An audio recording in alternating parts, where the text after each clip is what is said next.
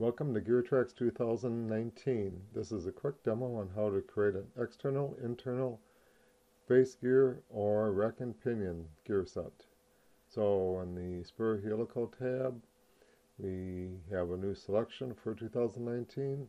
It's right here. We can select internal, rack and pinion, and face gear set.